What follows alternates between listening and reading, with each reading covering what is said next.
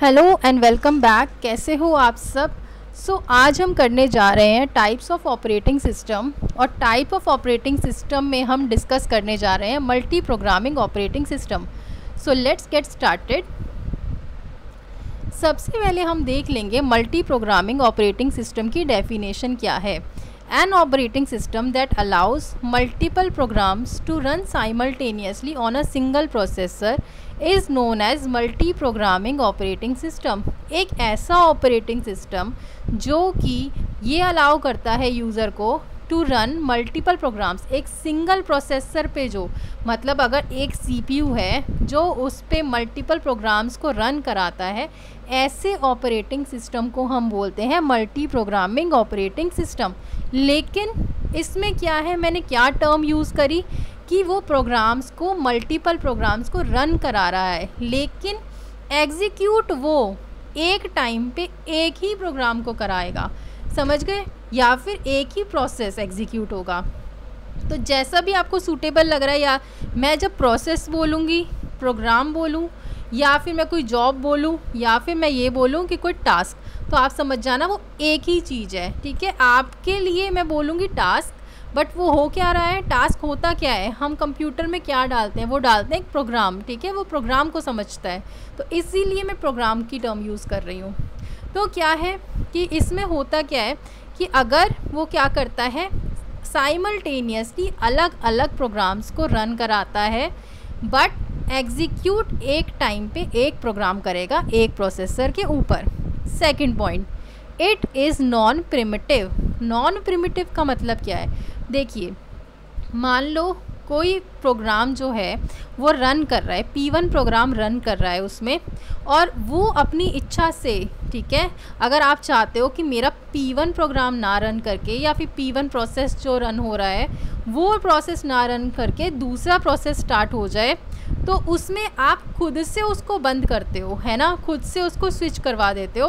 तो उस, वो होता है प्रिमिटिव लेकिन ये है नॉन प्रिमिटिव नॉन प्रिमिटिव का मतलब क्या है? कि अगर आप, इसमें आपका कोई रोल नहीं है। अगर पी वन प्रोसेस चाहेगा कि भाई मैं कुछ टाइम वेट करूँ या फिर पी वन प्रोसेस को कुछ इनपुट आउटपुट मतलब कहीं से कोई डाटा फेच करना हो, किसी हार्ड ड्राइव से, किसी सेकेंडरी मेमोरी से, या उसको कोई आउटपुट देना हो, उस टाइम पे वो ज़रूर क्या कर सकता है कि वो कुछ टाइम के लिए क्या करेगा?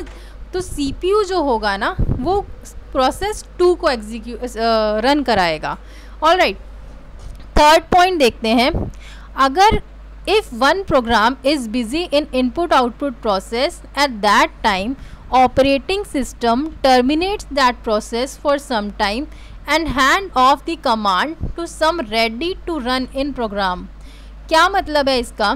अगर कोई प्रोग्राम बिज़ी है इनपुट आउटपुट प्रोसेस में, जैसे कि मैंने आपको बताया कि मान लो पहला प्रोसेस एग्जीक्यूट हो रहा है, पहला प्रोग्राम रन हो रहा है आपका, और उसमें कुछ इंस्ट्रक्शन आई कि भाई अब आपको इनपुट लेना है कहीं से या फिर आपको आउटपुट देना है। उस टाइम क्या होगा? सीपीयू का काम उसमें कोई नहीं है। वो जो आपके दूसरे डिवाइसेस हैं ना इनपुट आउटपुट डिवाइसेस काम अब उनका है।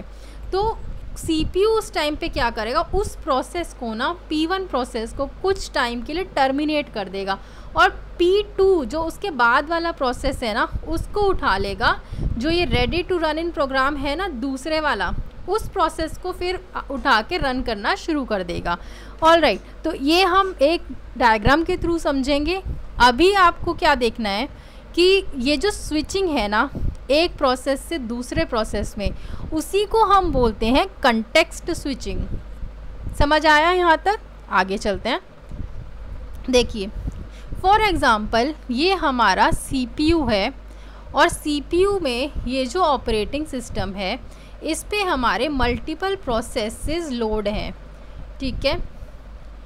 ये क्या है? मल्टीपल प्रोसेसेस जो हैं, ये मेमोरी में इसके स्टोर्ड हैं या फिर लोड हैं। तो P1 से Pn तक प्रोसेसेस हैं हमारे। अब क्या होगा? सबसे पहले जो है P1 प्रोसेस या प्रोसेस की जगह मैं एक टर्म यूज़ करती हूँ यहाँ पर ताकि आपको समझ आए टास्क कोई काम, ठीक है? तो जैसे कि कोई P1 प्रोसेस है P1 टास्क है, पहले वो जाएगा कहाँ?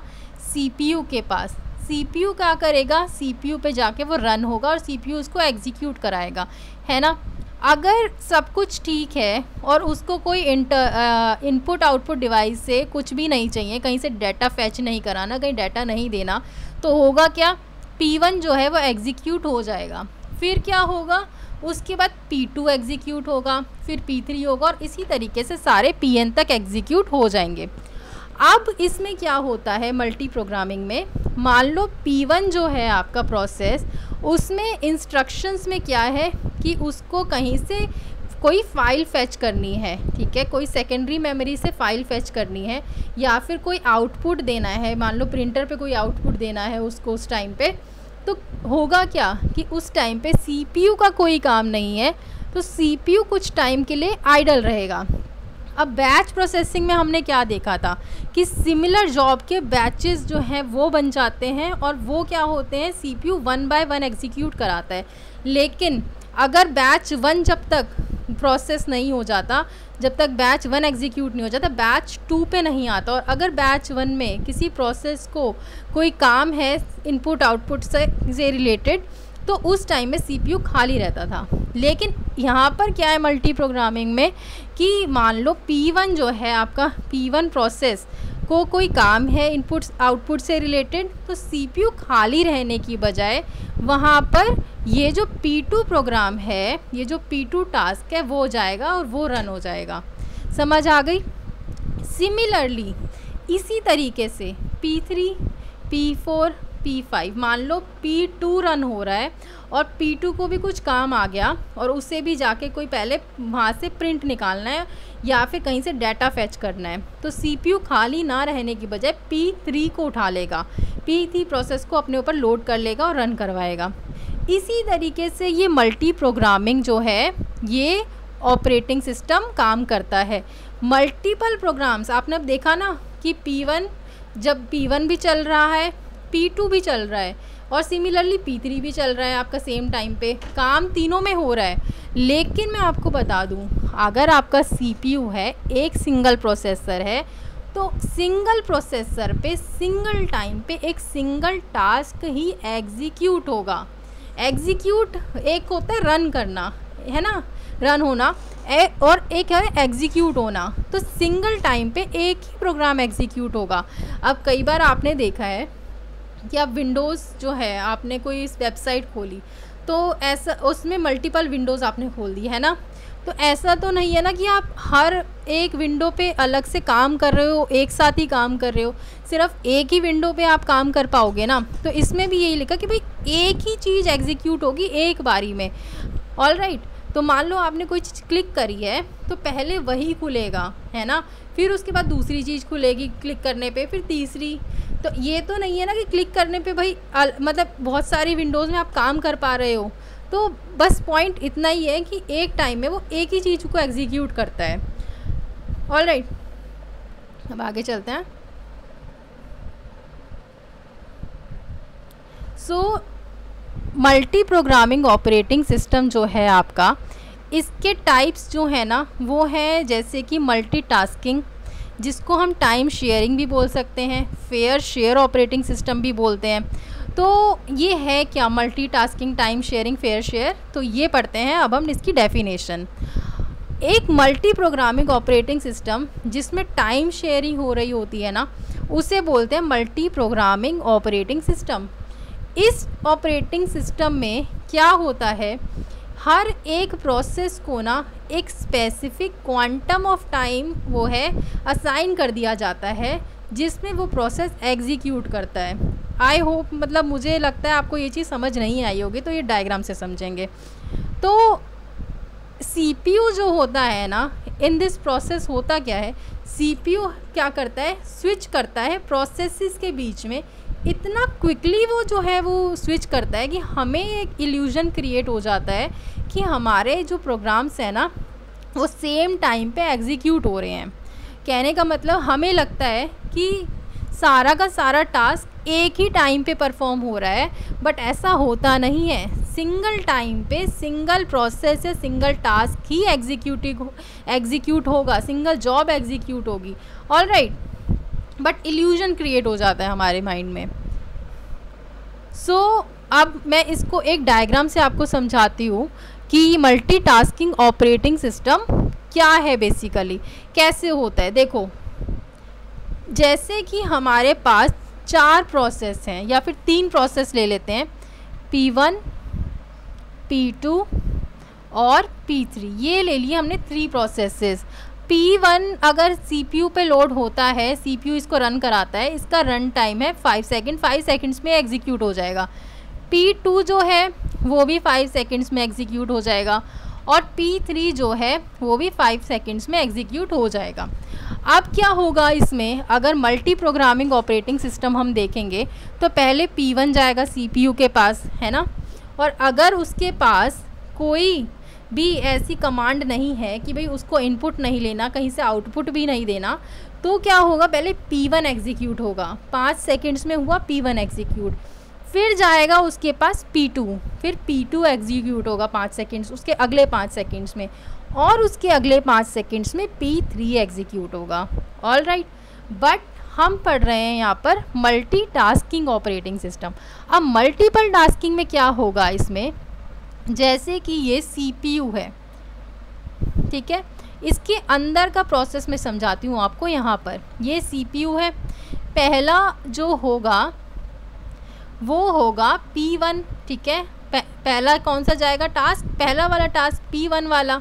तो P1 अब मैंने क्या करा कि इनको एक टाइम दे दिया। कि दो सेकंड में जितना भी चीज़ आपकी रन हो जाए या एग्जीक्यूट हो जाए, आप वो कर लो और हर हर एक को मैंने दो दो सेकंड का टाइम दे दिया हर प्रोग्राम को या फिर कह दूँ हर प्रोसेस को। जैसे मैंने P1 को टू सेकंड्स का टाइम दे दिया, इसी तरीके से P2 को टू सेकंड्स का टाइम दे दिया और P3 को भी टू सेकंड्स का टाइम दे दिया। क्या मतलब है इस टू सेकेंड का टाइम देने का? कि CPU ने क्या करा? पहले P1 को रन कराया। दो सेकेंड्स के लिए। जैसे ही दो सेकेंड्स पूरे हो गए, जितना काम हो गया हो गया, वो क्या करेगा?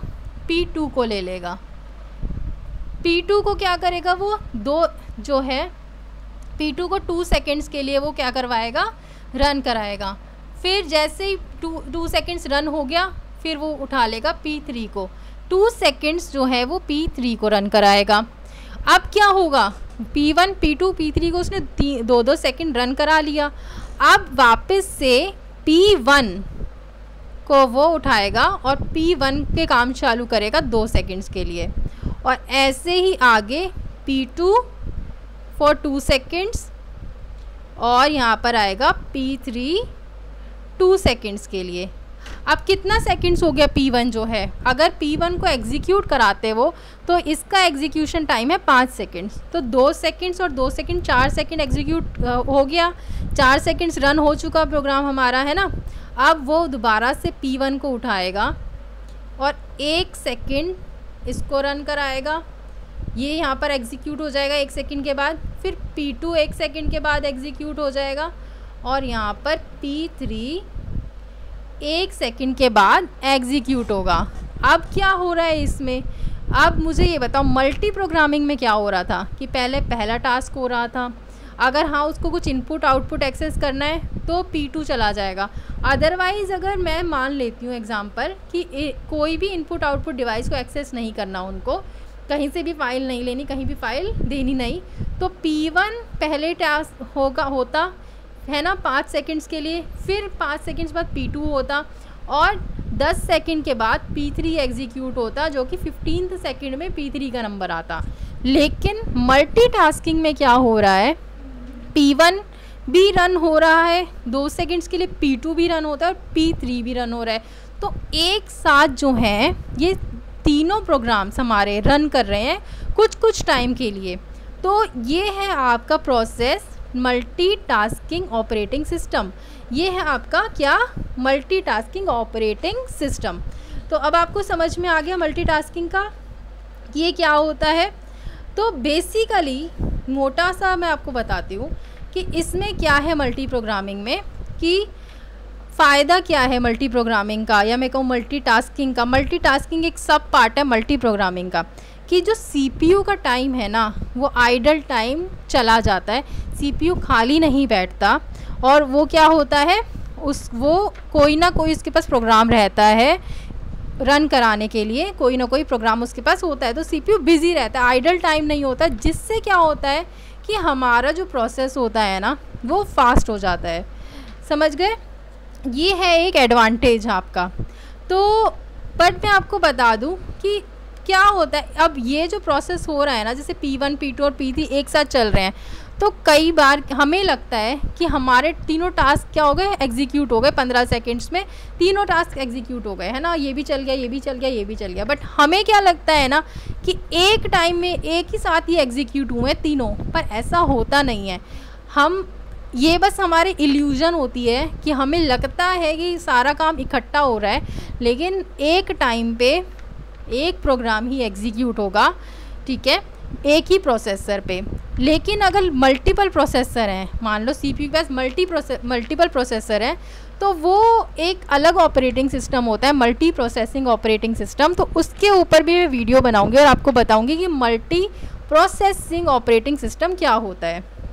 तो कुछ एडवांटेजेस भी हैं इसके और कुछ डिसएडवांटेजेस भी हैं। एडवांटेज क्या है?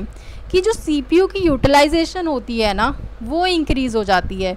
दूसरी एडवांटेज है कि वेटिंग टाइम जो है, वो कम हो जाता है। अब आपने खुद देखा कि अगर मान लो पहला प्रोग्राम कोई उसमें, उसने पॉज लिया, या फिर उसमें टाइम लग रहा है, या फिर वो इनपुट आउटपुट को एक्सेस कर रहा है तो दूसरा प्रोग्राम चल जाएगा उस टाइम पे, है ना? तो उससे क्या वेटिंग टाइम कम हो जाता है आपका। तो यूज़ आजकल के टाइम पे आपको पता है कि लोड बहुत ज़्यादा है, हमें बहुत सारा काम करना होता है। तो आज के टाइम के लिए बहुत अच्छा है मल्टीटास्किंग ऑपरेटिंग सिस्टम डिसएडवांटेजेस भी हैं इसके कुछ, जैसे कि शेड्यूलिंग डिफ़िकल्ट हो जाती है इसमें। दूसरा मेन मेमोरी की मैनेजमेंट रिक्वायर होती है।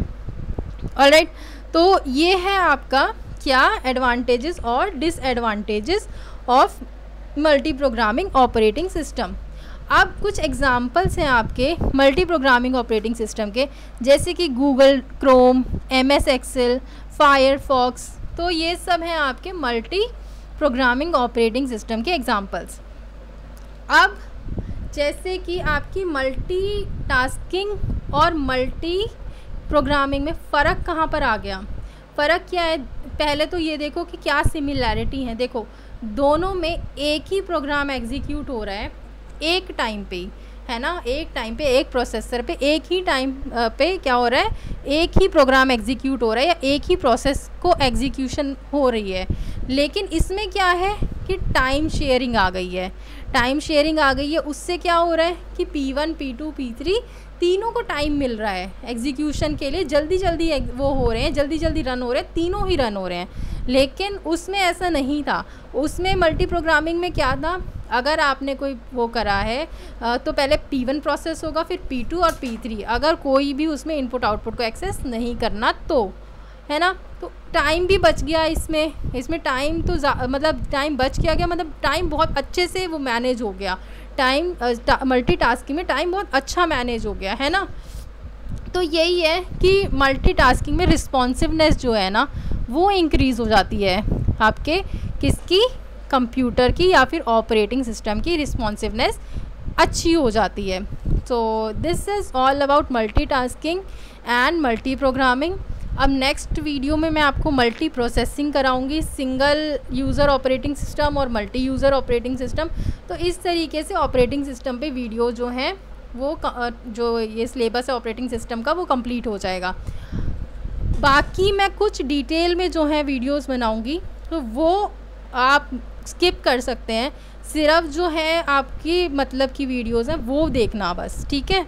चलो टेक केयर